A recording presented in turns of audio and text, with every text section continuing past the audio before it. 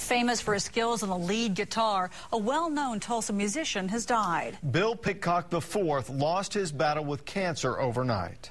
Thank you very much. And over here, this is Bill Pitcock. Bill, nice to have you with us. The 58-year-old Pitcock and his longtime friend Dwight Twilley played together for 41 years.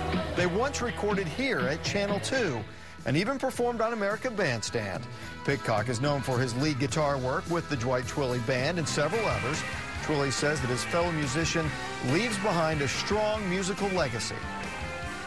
Bill was a shy and humble genius who inspired uh, fans and musicians worldwide. The kind of influence that he had that spread way, way, way beyond Tulsa. Some of Pitcock's music is featured on Dwight Twilley's album called Green Blimp.